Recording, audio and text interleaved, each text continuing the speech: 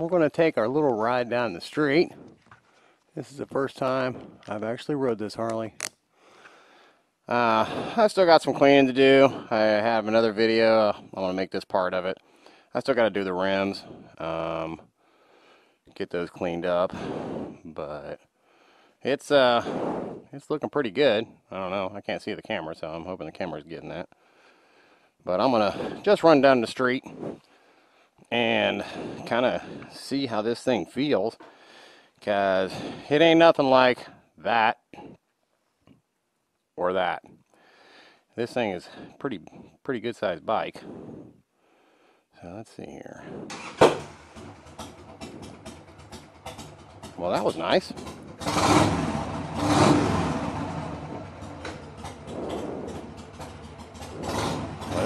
Let's go.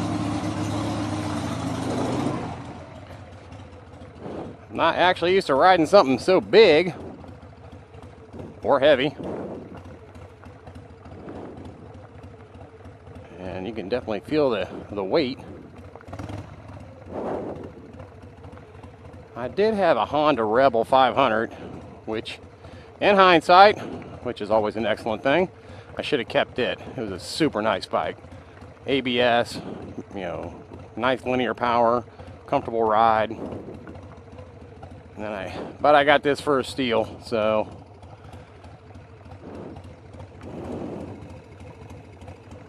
I definitely smell that exhaust. All right, let's go.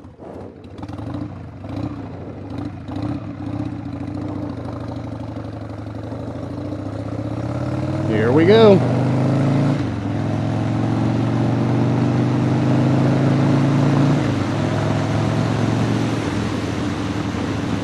It don't ride bad. I'm gonna go down the street here, turn around and come back. You know, definitely got some good torque.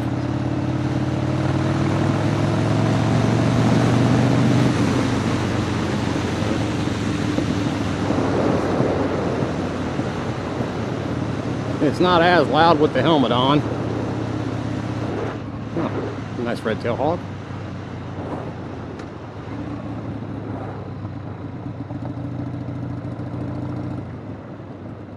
Now, let's turn this thing around.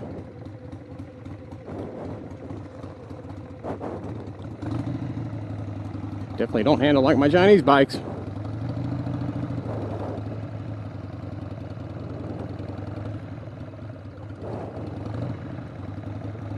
It is a Harley.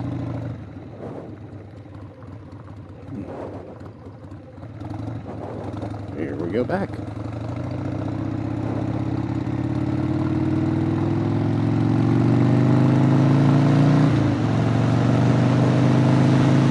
Definitely gets up to speed quick.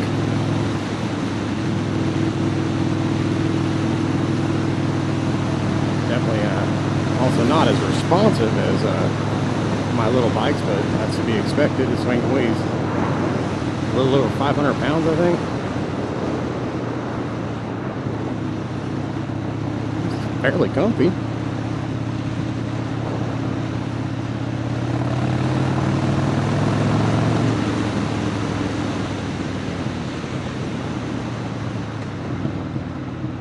Shift's good.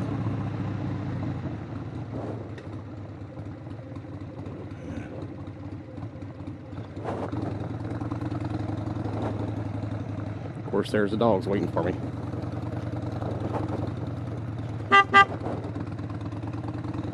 Doo-doo.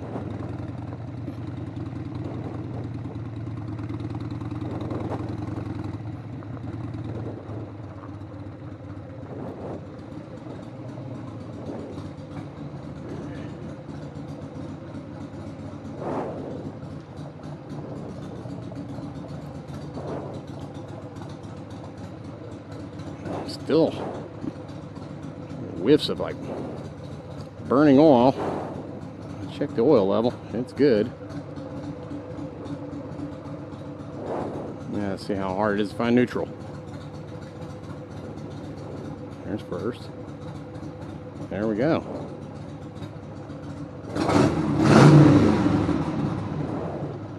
And I will continue this in another segment.